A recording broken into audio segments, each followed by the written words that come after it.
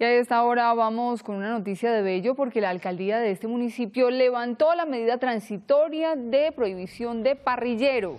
A partir de mañana, 11 de abril, no aplicará dicha medida que restringía el parrillero hombre o mujer mayor de 14 años.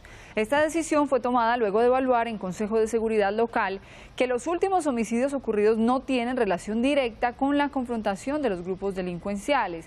Recordemos que esta medida fue implementada el pasado 27 de febrero a raíz de la alteración de orden público en el municipio de Bello. El primero de mayo se evaluarán los resultados para determinar si se retoma o no la restricción.